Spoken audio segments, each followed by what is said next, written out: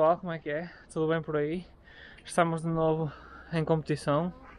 Estamos aqui em Arnedo, no Super Prestígio e uh, uma corrida C1 parece que ainda vai ter mais nível do que a corrida passada que fizemos em Valladolid, mas isso também é bom. Vamos, vamos lá ver como é, que, como é que está o circuito e uh, já nos metemos aí umas imagens do circuito. Vá, até já!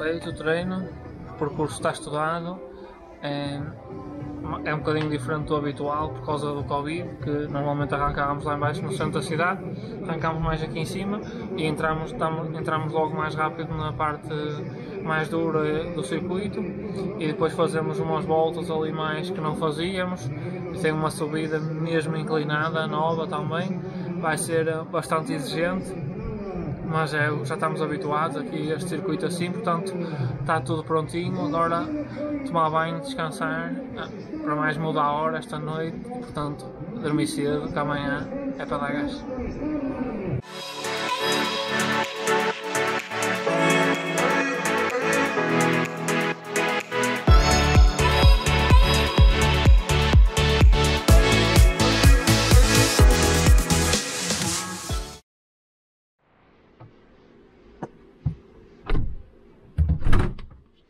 Bom dia, já se ouvem os rolos a aquecer.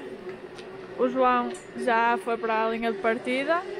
Eh, eu já estou mais ou menos pronta, já me equipei. Uh, está um bocadinho frio, esperamos que isto aqueça um bocadinho, não muito também, porque vou tirar a máscara, senão vocês não me percebem. Uh, está um bocadinho frio, esperamos que isto aqueça um bocadinho, mas não muito também.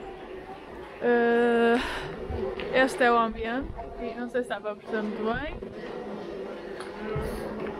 Esperemos que corra tudo bem a, no, a nós os três, né? Vamos lá ver. Está tudo bem convosco? Sim, tudo bem. Tudo bem disposto? Tudo jóia. então, dormiste bem? Dormi. Dormi foi pouco. Ah, mudou a hora, lixou-nos bem.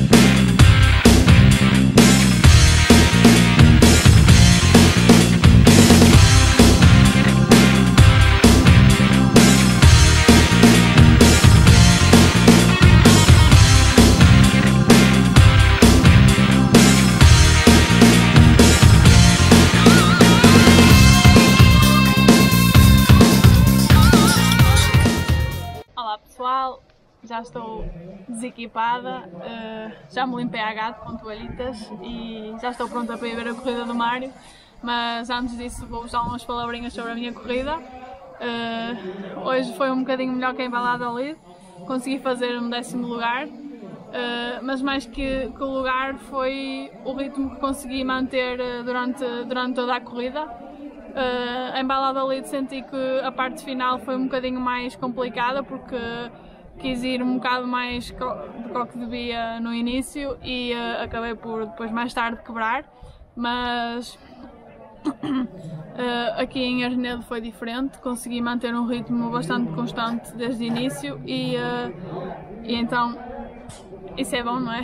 É sempre bom, por isso estou satisfeita com o meu lugar e ali muito perto da nona, da nona classificada. Uh, ainda tentei no final apertar mais um bocadinho, mas, mas ela acabou por fazer o mesmo e fugiu-me, por isso não consegui.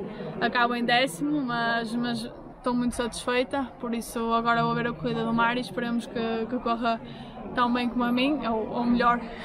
Obrigado por todo o vosso apoio, que, que é sem dúvida uma ferramenta que, que para mim vale muito e, e, e, já que nós não conseguimos ter público nas corridas, apesar de aqui em Espanha ainda haver algum, algum público a, a poder ver as corridas, uh, obrigado a vocês que estão desse lado, obrigado por, por todo o apoio. Beijinhos, até já!